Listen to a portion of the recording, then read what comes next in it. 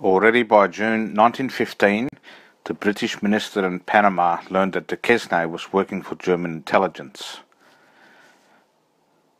One of the places he was staying in, in a Brazilian port, was surrounded by British agents, but he escaped over the rooftops.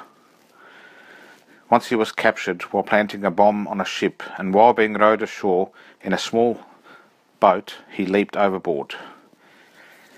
His last bombing was in February 1916, when he consigned what he claimed was his trunk of motion picture film and 16 boxes of supposedly minerals to be shipped to the United States from Brazil on the British ship Tennyson. There was a large explosion and fire at sea halfway to Trinidad. The captain managed to beach the stricken ship, but three sailors were killed the British began a manhunt for Duquesne on a mandatory death sentence charge. British circles in Brazil were shocked to discover that Pete Nacard was a German agent. Fritz took off for Argentina, where he contracted with the National Board of Education to produce some educational films. He needed to get back to the United States to buy the film.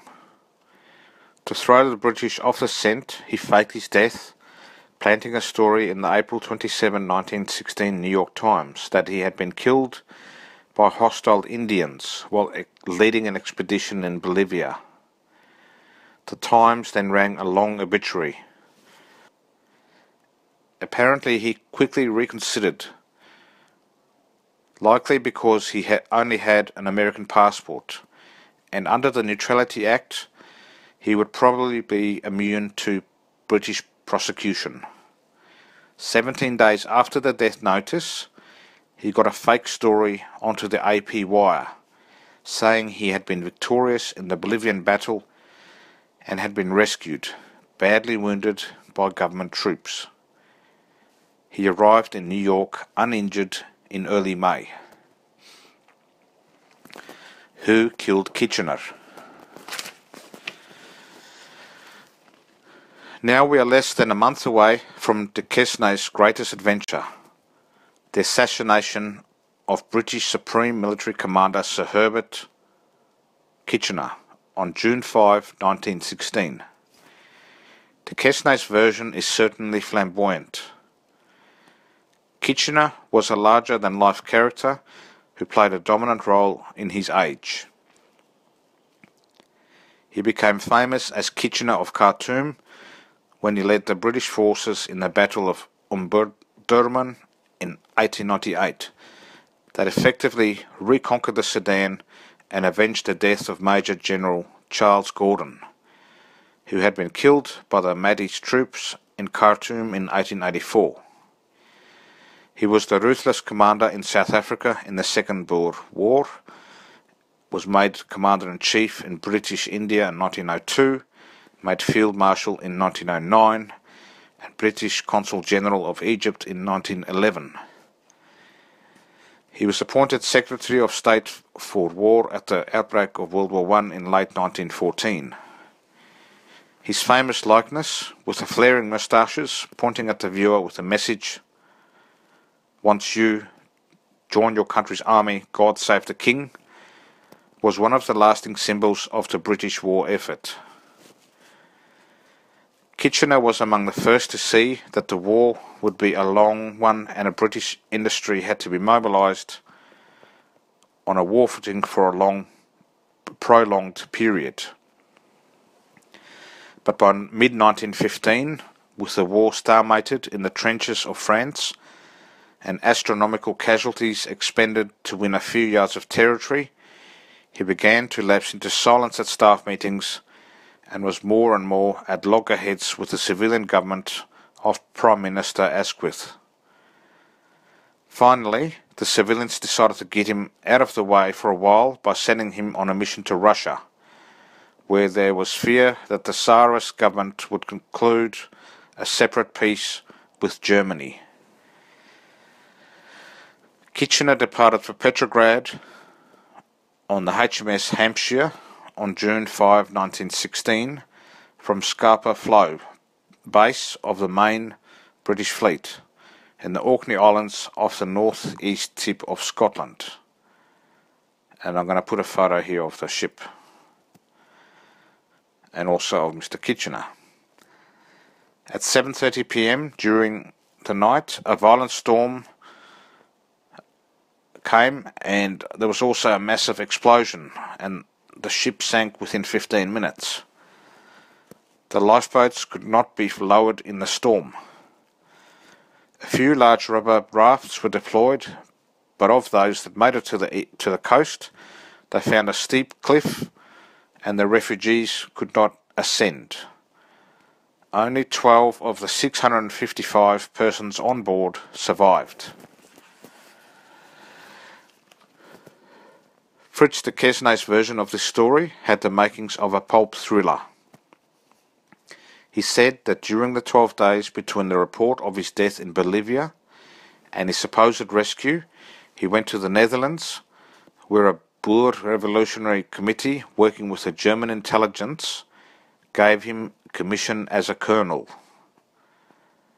The Germans had learned that a Russian nobleman, Count Boris Zakrevsky, had been assigned to go to England to accompany Kitchener's party to Petrograd. The Count was kidnapped en route by the Germans and his papers forwarded to the Boers with orders that Fritz de was to impersonate Zakrevsky and to find a way to assassinate Kitchener. Wood's account has Fritz being fluent in Russian, which was not the case, although in Fritz's telling, Zakrevsky was supposed to speak good English.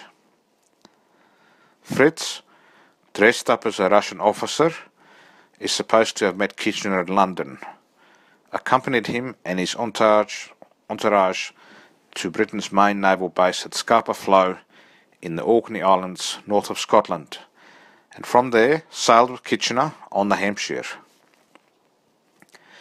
Fritz said he dropped self-igniting water torches out his porthole to identify Kitchener's ship to waiting German U-boats. One of these fired the fatal torpedo. At the last minute, Fritz leaped over the side into a raft in the raging storm and managed to navigate a hundred yards to the waiting submarine. He says he was taken to Germany, where he was secretly awarded the Iron Cross, as well as a medal from the Turkish government, and made Baron of Brandenburg. Art search uncovered no confirmation of these awards, but many German records were destroyed at the end of the war. During one of Fritz's later arrests, a photograph was found among his effects in which he is wearing the Iron Cross and medals from Austria, Turkey, and Bulgaria. Art Ronnie is skeptical that these were really awarded and not purchased somewhere.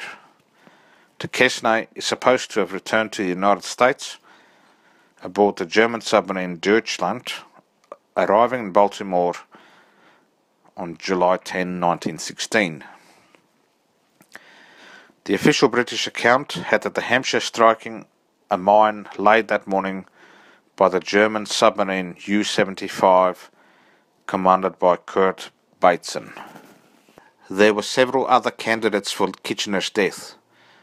Lord Alfred Douglas, ill-starred lover of Oscar Wilde, said the Jews did it, and that they bribed Winston Churchill as well to represent events in the Battle of Jutland, which took place just before the sinking of the Hampshire to the benefit of a New York Jewish financier. Churchill sued for libel and Lord Douglas served six months in prison. Irish Republicans were said to have planted bombs in the hold, and General Ludendorff joined head with Hindenburg of Germany's armed forces in World War I, said it was Russian communists who gave the Germans Kitchener's travel plans. Fritz did appear in New York briefly in May 1916 before the sinking of the Hampshire. Using the name Frederick Fredericks, he bought $24,000 worth of film with the money he had been given in Argentina and stored it in the Brooklyn warehouse. Two weeks later, the warehouse went up in a fiery explosion and the film was destroyed. Alice Wortley filed an insurance claim for $33,000 in Frederick's name with the company that held the policy. She also filed an $80,000 claim on behalf of a supposed George Fordham with another company which had issued the policy on the film that had gone down on the Tennyson, the ship that Duquesne himself had blown up. Fritz was not seen again until July 1917, when he, when he turned up in Washington, D.C. He moved on to New York, where he thought it was best to become invisible, as usual by exuberant public display of himself in disguise. World War I was at its height. The United States had entered the war in April. Fritz designed for himself the uniform of an imaginary Australian officer and complete with swagger stick presented himself at the offices of a National Speakers Bureau as the supposed Captain Claude Stoughton of the also imaginary West Australia Light Horse. He claimed an amazing war record. Stoughton had fought on the British side in the Boer War. In France and Flanders on the continent early in World War One then in the invasion of Gallipoli in the Turkish Dardanelles, not to mention New Guinea. Wounded many times, he was a veteran of every famous battle of the war America had just joined. He proved to be a sensation on a national speaking tour. He was even introduced to George H. Reid, former High Commissioner of Australia, who did not suspect the impersonation. Captain Stoughton even included some tips for the elucidation of his audiences on how the German spy system worked. A method actor, Duquesne for the time being put aside supporting the Germans and energetically sold American war bonds. The defrauded insurance companies were still trying to find out who Frederick Fredericks and George Fordham were. They had a good idea it was Duquesne, as his wife Alice was the only identifiable figure involved in filing the insurance claims. And as one of these involved an arson explosion at a Brooklyn warehouse, it put Thomas B. Brophy, who was New York's chief fire marshal, and Thomas J. Tunney, the head of the bomb squad, which had just been co opted into the military, on de trail. They got a lead when Captain Claude Stoughton incautiously made a few pro German comments to a woman who reported him to the FBI. From a set of mugshots, she identified Stoughton as Duquesne. On December 7, 1917, detectives from the bomb squad raided Fritz's Manhattan apartment and took him into custody. They found extensive newspaper clippings on all the ship bombings in South America, the invoice for the shipment aboard the Tennyson, and a letter of commendation from the Austri- Austrian High Commissioner in Nicaragua. Fritz was charged with two counts of insurance fraud, both following suspicious explosions. Britain filed for extradition for murder. Fritz's first gambit was to feign insanity he mussed his hair and began babbling. An insanity hearing was held in May 1918. There were two prominent psychiatrists, a prison doctor, a lawyer, and other officials in attendance. Fritz broke away from his guards and ran in screaming, Bring up the guns! Bring up the guns! I want you men to watch the enemy! Two of the medical men agreed that Quesnay was insane. The third said that he had suffered a psychotic break but was recovering and partly faking. They all agreed that he could not be tried at that time. He was committed to the Matteawan State Hospital for the Insane. Allison now divorced him. He lasted there for five months when he found his fellow inmates unbearable and suddenly had a complete recovery. He asked for a new hearing where he pled guilty to attempting to defraud the Stuyvesant insurance company, the one with the policy on the Brooklyn warehouse. He did not plead on the other company, which involved a charge of blowing up the Tennyson. The British charges still had priority over a mere insurance fraud, and a deportation hearing was held on December 23, 1918. In the middle of the proceedings, Fritz collapsed, insisting that he was paralyzed from the waist down. Carried to prison on a stretcher, he told the guards, I don't see why I should stay here long. There's nothing can keep me here. Several doctors examined him. They stuck needles in his legs and under his toenails. Fritz never flinched. They finally agreed that he really was paralysed. He was sent to the prison ward at Bellevue Hospital. Someone slipped him a pair of hacksaw blades, and for five months he spent his days in a wheelchair, pretending to be bird watching while quietly sawing away at the heavy iron bars. At a new hearing on May 19, 1919, his deportation to England was approved. On the 26th, just after midnight, he broke out two window bars, fell to the ground from the second story window, and staggered away into the night. No one helped him. He was scheduled to be sent to England to face murder charges later that morning. This time he stayed at liberty for 13 years. He sent a friend a press release saying that he had been rescued from the Bellevue by his cousin Count Francois de Recongre, who had driven him to Mexico City. He actually went to Boston, where he started an advertising business under the name Frank de Trafford Craven. The New York police issued a wanted a wanted for murder poster for Duquesne. He later claimed that he briefly took a job as a Boston policeman during a police strike, which gave him a chance to destroy the file on him at Boston Police Headquarters. For years, he regularly had friends from all over the world send postcards and telegrams to the New York police reading, Come and get me, signed Fritz.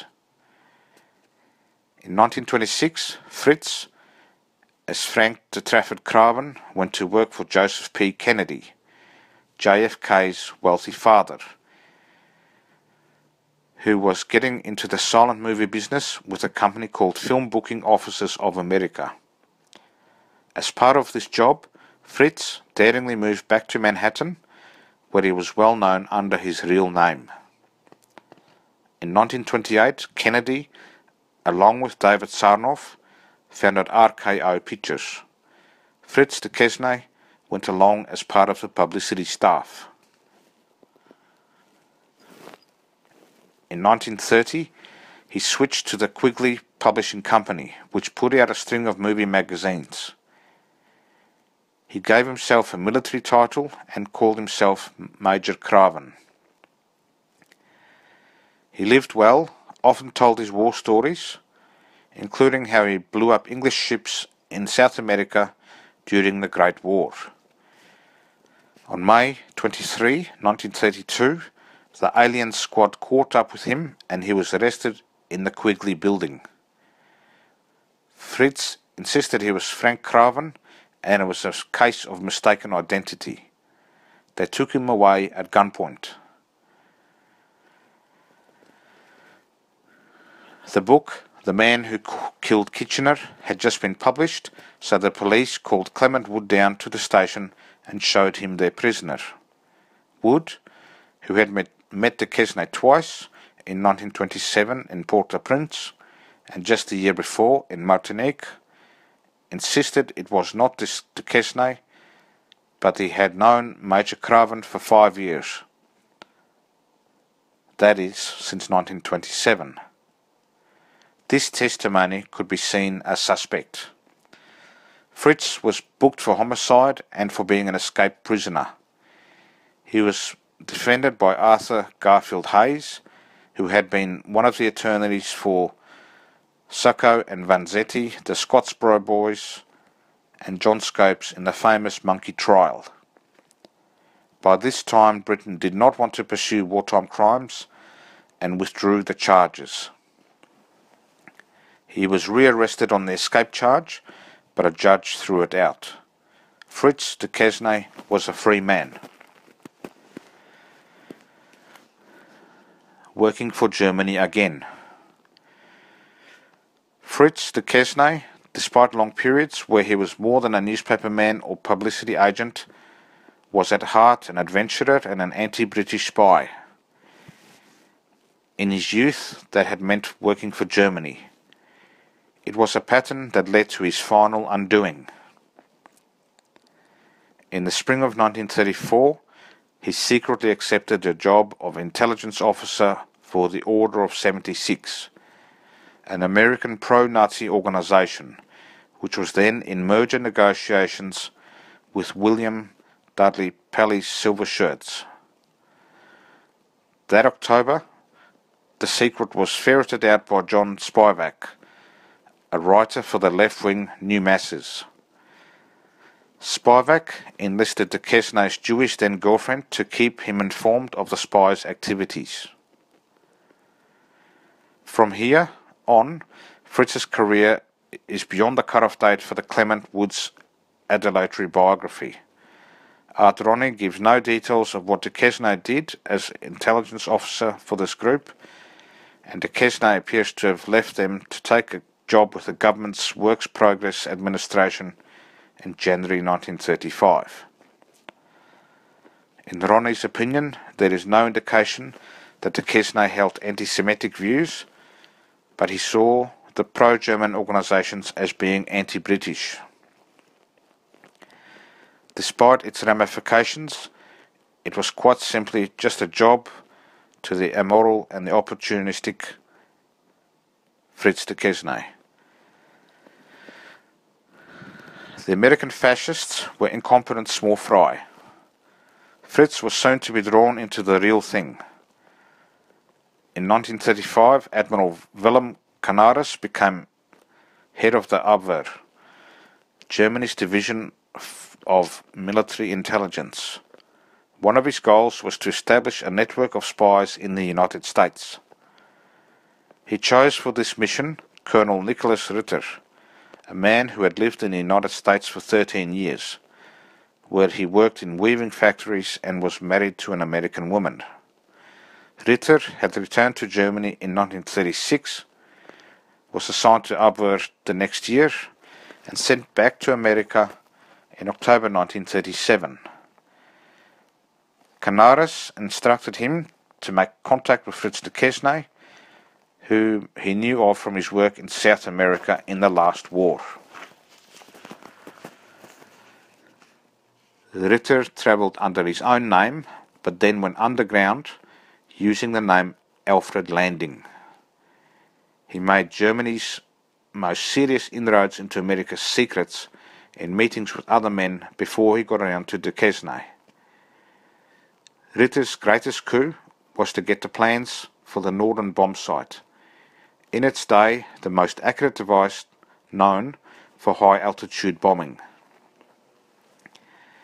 He got these from Hermann Lang, a naturalized German who had participated with Hitler in the Munich beer hall putsch of 1923 and now works for the Carl L. Norden Company. Ritter hid the plans in the wooden casing for an umbrella and on January 9, 1938, personally handed the umbrella off to a German steward and secret courier on the ship Reliance, which was bound for Bremen. Art Ronnie calls this probably the greatest espionage coup during that tenuous time before the war, comparable only to the Americans breaking the German and Japanese codes. The only other significant intelligence Ritter spy ring acquired came from Everett Minster Roeder, an engineer and designer at the Sperry Gyroscope Company. Art Ronnie lists Roeder's thefts to include the blueprints of the complete radio instrumentation of the new Glenn Martin bomber, and among the Sperry developments, classified drawings of rangefinders, blind flying instruments, a bank and turn indicator, a navigator compass, a wiring diagram of the Lockheed Hudson bomber, and diagrams of the Hudson gun mountings.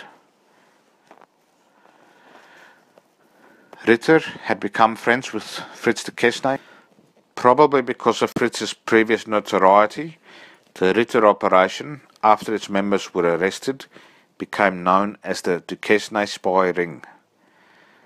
This was very far from the truth. From its inception at the end of 1937, Ritter's agents in various American cities each acted alone, none, for security reasons, having information on any of the others. This changed when the Gestapo recruited German born, naturalized American citizen William Sebold while he was on a visit to the homeland. They blackmailed Sebold into becoming a spy, using threats to his family and unearthing an old police record in Germany that could endanger his American citizenship. They sent him back to the US under the name Harry Sawyer to consolidate and expand the Ritter Ring. He arrived in New York on February 8, 1940. In retrospect, it seems stupid of the Gestapo to entrust such a sensitive mission to an unwilling draftee. Sebold, before he even left Germany, on some pretext, visited the American consulate in Cologne and told them the whole plan. When he arrived in the United States, the first thing he did was to contact the FBI, who actually had an agent move in with him for the first eight weeks. Now, Harry Sawyer set up the meeting with a few existing agents whose names he began with. He was tasked with setting up a clandestine shortwave radio to beam his discoveries to Hamburg. The FBI rented a house out on Long Island and set up a transmitter staffed by German speaking FBI agents. Sawyer, as he was known, told his pro German Confederates that he himself was himself the radio operator and no one ever checked. The station transmitted heavily redacted versions of whatever the spies produced, leaving in enough genuine but harmless information to make the operation seem legitimate.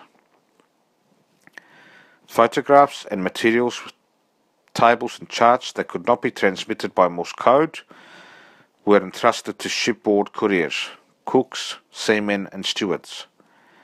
Harry Sawyer rented a two room office in Manhattan.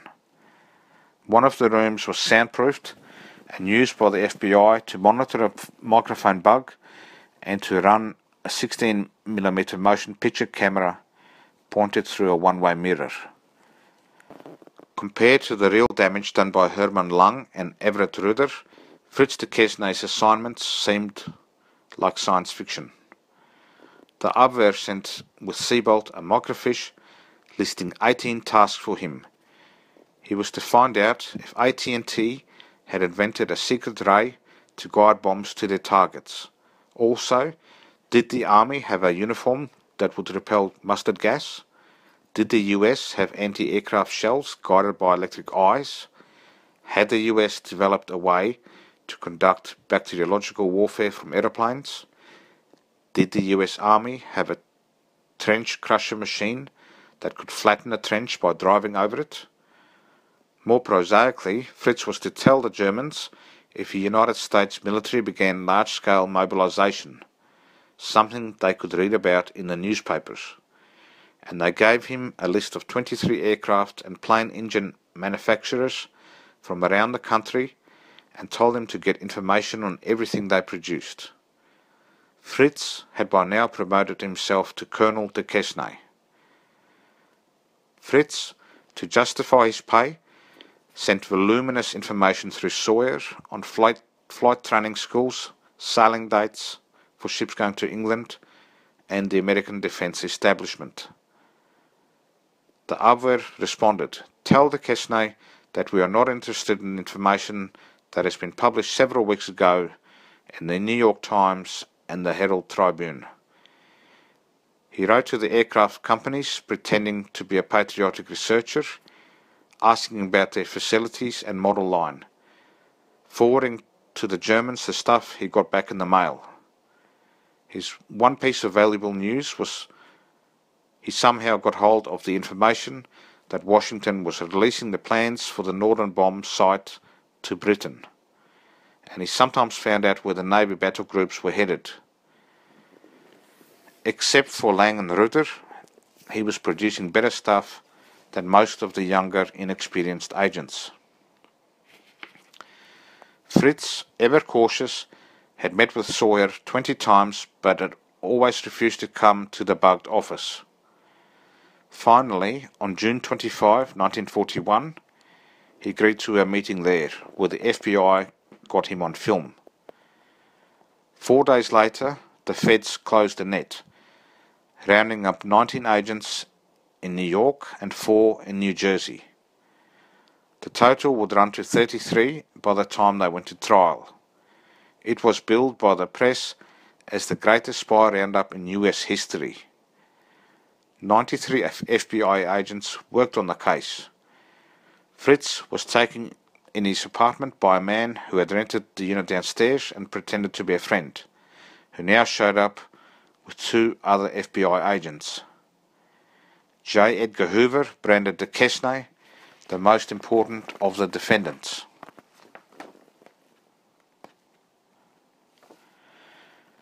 The initial 24 were tried as a group. 10 pled guilty, leaving 14 to go to trial. Fritz was the first defendant to take to the stand in the six week trial that began in September. He mesmerized the jury and the audience with a dramatic and often fantastic recounting of his life story, from the days of the Boer War through his many escapes.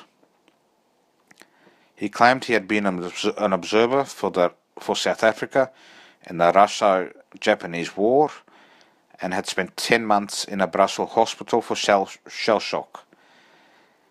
He said he could visit Theodore Roosevelt in the White House at any time he liked and that he had been there three or four times in one week. He retold how he had killed Field Marshal Kitchener and said he had been rescued from Bellevue Hospital by members of the Irish Republican Army. He denied, probably truthfully, that he had ever met any of the other defendants except Sebold. He said he thought Sebold was insane because he paid good money for junk. Junk information Duquesne had clipped from the newspapers. I sold him a code used by Benedict Arnold in the war between England and the, and the United States in 1776, for example. Despite the presentation of voluminous evidence of materials he had supplied Sebold for transmission to Germany, he insisted that he was not a spy. Unhappily for the defendants, their attorney summations were scheduled to begin on December 8, 1941. Pearl Harbor took place the day before. The jury took only eight hours to reach verdicts on all 24 defendants. The sentences ranged from as little as 15 months to 18 years.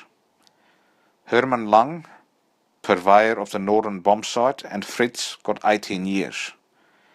Everett Roeder was one of the four who received 16 years. Most got between 5 and 10 years. Colonel Nicholas Ritter became the commander of the of a Luftwaffe Panzer Division, then an American POW, and after the war a businessman in Hamburg. He died in 1974.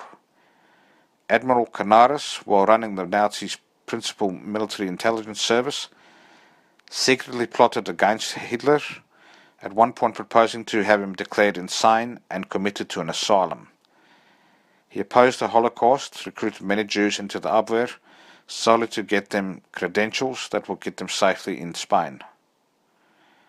He arranged for the escape of the Lubavitcher Rebbe Yosef Schneerson from Warsaw, from which the Chabad movement had declared him a righteous Gentile.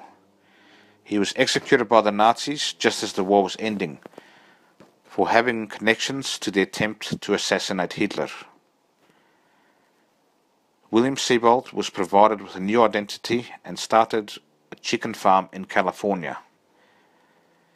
Fritz served the longest of any of the defendants.